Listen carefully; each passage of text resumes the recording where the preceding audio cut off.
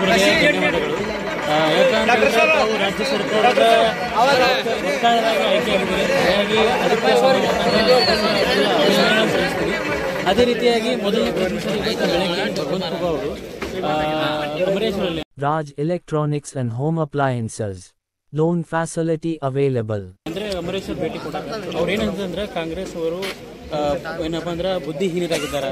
ರಾಜಕೀಯವಾಗಿ ದಿವಾಳಿ ಆಗಿರತಕ್ಕಂಥ ವ್ಯಂಗ್ಯ ಟೀಕೆಯನ್ನು ಮಾಡಿದ್ದಾರೆ. Sir ಆ ಸಂಬಂಧಪಟ್ಟಂತ ಅನಿಸುತ್ತೆ ಇಡೀ Bhagwanth Khuba MD Musa MSNSS Grill Workshop, Shivpur road Santosh gas के सामने यहाँ पे सभी तरह के फैब्रिकेशन और हम लाइट का काम किया जाता है ಒಬ್ಬ ಸ್ವಾರ್ಥಿ ರಾಜಕಾರಣಿ ಹತ್ತು ವರ್ಷದ ಅವಧಿಯಲ್ಲಿ ಒಂದೇ ಒಂದು ಜನಪರ ಕಳಕಳಿ ಇಲ್ಲದೆ ಒಂದೇ ಒಂದು ಅಭಿವೃದ್ಧಿ ಪರ ಕೆಲಸ ಕಾರ್ಯಗಳು ಜಿಲ್ಲೆಯಲ್ಲಿ ಮಾಡಿಲ್ಲ.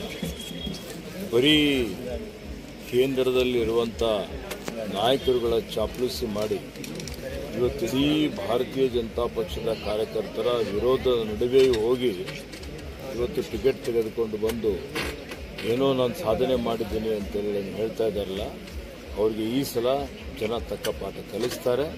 ಅವ್ರಿಗೆ ಶಾಶ್ವತವಾಗಿ ಮನೆಗೆ ಕಳಿಸ್ತಾರೆ ಅನ್ನುವಂಥ ಮಾತನ್ನು ಹೇಳಿಕೆ ಬಯಸ್ತಾರೆ ಸರ್ ಮತ್ತೊಂದು ಸರ್ ಈಗ ಇತ್ತೀಚೆಗೆ ನಮ್ಮ ಇನ್ನೂ ಕಾಂಗ್ರೆಸ್ ಸರ್ಕಾರ ಕಾಂಗ್ರೆಸ್ ವತಿಯಿಂದ ಏನು ಟಿಕೆಟ್ ಘೋಷಣೆ ಆಗಿದೆ ಲೋಕಸಭೆಗೆ ಸಂಬಂಧಪಟ್ಟಂತೆ ಈ ನಡುವೆ ರಾಜಶೇಖರ್ ಪಾಟೀಲ್ ಆಗಿರ್ಬೋದು ಅಥವಾ ನಮ್ಮ ಕಾಂಗ್ರೆಸ್ ಪಕ್ಷದಲ್ಲಿ ಅನೇಕ ನಾಯಕರಿದ್ದಾರೆ ಈಗ ಎಲ್ಲರನ್ನೂ ಆದರೆ ಮತದಾರರ ಇಚ್ಛೆಯಂತೆ ಈ ಸಲ ಸಾಗರೇಶ್ವರ್ ಸಾಗರ್ ಖಂಡ್ರೆ ಅವರನ್ನೇ ಲೋಕಸಭೆಗೆ ಚುನಾವಣೆಗೆ ಬರಬೇಕು ಅವರೇ ಈ ಸಲ ನಮ್ಮ ವರಿಷ್ಠರು ಇವೆಲ್ಲ ವಿಷಯಗಳ ಬಗ್ಗೆ ಚಿಂತನೆ ಮಾಡಿ ಎಲ್ಲರ ಅಭಿಪ್ರಾಯವನ್ನು ಪಡೆದು ಅಂತಿಮವಾಗಿ ಒಬ್ಬರನ್ನು ಅಭ್ಯರ್ಥಿಯನ್ನಾಗಿ ಆಯ್ಕೆ ಮಾಡ್ತಾರೆ. ನಾವೆಲ್ಲರೂ ಒಗ್ಗಟ್ಟಾಗಿ ಯಾರಿಗೆ ಅಭ್ಯರ್ಥಿ ಮಾಡಿದ್ರು ಅವರನ್ನು ಕಾಂಗ್ರೆಸ್ ಪಕ್ಷದ ವತಿಯಿಂದ ಗೆಲ್ಲಿಸುವಂಥ ಕೆಲಸ ನಾವು ಮಾಡ್ತೇವೆ.